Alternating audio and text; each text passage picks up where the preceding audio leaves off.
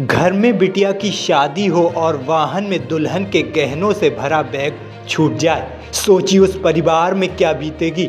एक तरफ़ शादी का माहौल और दूसरी ओर ये टेंशन कि अब करें तो क्या करें?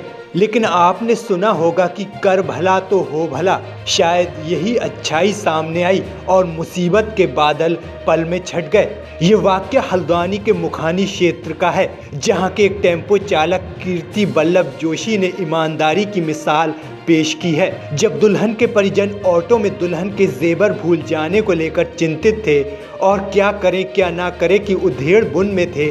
इन सब के बीच दो घंटे के इस टेंशन भरे माहौल के बाद अचानक वही टेंपो चालक मानो भगवान का रूप धर सामने आ खड़ा हुआ। कीर्ति बल्लभ जोशी ने ईमानदारी की मिसाल पेश करते हुए दुल्हन के जेवर वाला बैग लौटा दिया। ये देख मेहमान रिश्तेदार सब वाह वाह कर उठे। और खुशी के मारे बुझे चेहरे फिर से खिल उठे। ईमानदार टेंपो चालक जोशी ने कन्या का कन्यादान होने का हवाला देकर कोई भी इनाम लेने से इनकार कर दिया। और दुल्हन और दूल्हे के परिजनों ने आज के दौर में ईमानदारी की मिसाल बने चालक जोशी का माला पहनाकर स्वागत अभिनंदन किया।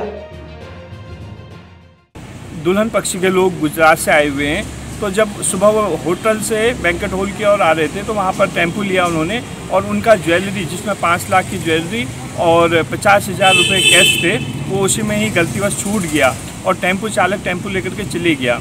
और बाद में पता चलता है, टेंपो चालक श्रीमान कीर्ति वल्लभ जोशी जी, जो मूल रूप से बागेश्वर के रहने वाले हैं, वर्तमान में किराए पर रहते हैं यहाँ हरिनायक में, आपने टेंपो घर जाकर खड़ा कर दिया। और अगली शिफ्ट में जब वो स्कूल के बच्चों को लेने गए तो उनको तब पता चला उन बच्चों के माध्यम से कि इसमें कोई सामान छूटा है और वो तुरंत उस सामान को, उस ज्वेलरी के बैग को लेकर के यहाँ विवाह मंडप पर आए और जब उनका सम्मान करना चाहा, उनको इनाम देना चाहा तो उन्होंने बिल्कुल मना कर दिया। उन्होंने कहा, हम देवभूमि उत्तराखंड के रहने वाले लोग हैं और ये मेरा कर्तव्य है, मेरी ज़िम्मेदारी है, भूलवश कोई सामान रह गया तो इसमें कोई बड़ी बात नहीं है।